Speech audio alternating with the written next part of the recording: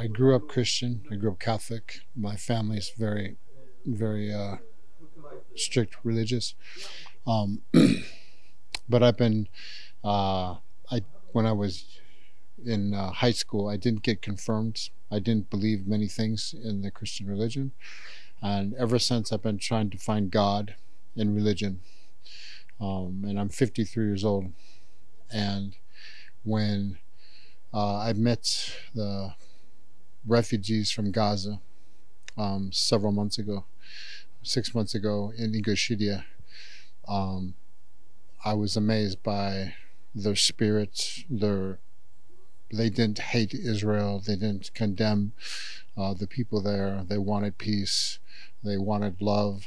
Um, and I was like, how can you feel this way? What kind of what is inside you, your spirit, that makes you like this? and um, I started studying more about uh, Islam, and I've been interested in it for a while. I have uh, friends who are, who are Muslim, and um, I met some more people, some kids and families in in uh, Bashkortostan where I live, and they just confirmed that uh, this kind of love, this kind of acceptance, this kind of brotherhood is something that I wanted to be part of.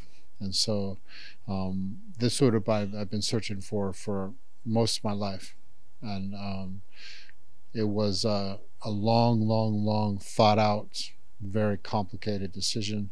But after I made this decision, I knew it was the right decision immediately.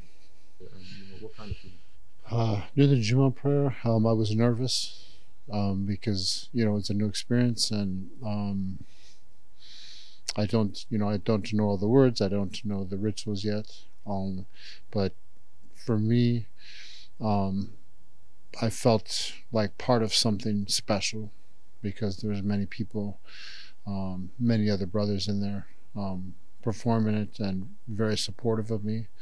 But the overwhelming feeling I get being Muslim now is I've just joined a very, very big and very connected family. and I feel like I've just inherited a bunch of brothers and relatives and sisters that are now part of my family. The now that I can call on if I need help. Now that I um, maybe that I can help them. And this is this is the biggest feeling I get. We all worship the same God, um, and we all try to be our best. Um, but it's a lot easier um, to be a good person, to be um, giving, loving, um, merciful, compassionate when you have people around you that support you and that feel the same way and that you can hold their hand when you need help, that you can support them.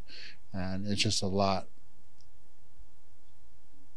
It's a, it's a feeling of of uh, fulfillment. Really, it's a feeling like I've been searching for for my life, and it's like, oh, okay, now I feel like I've I've just part of the family that I've been missing for so long.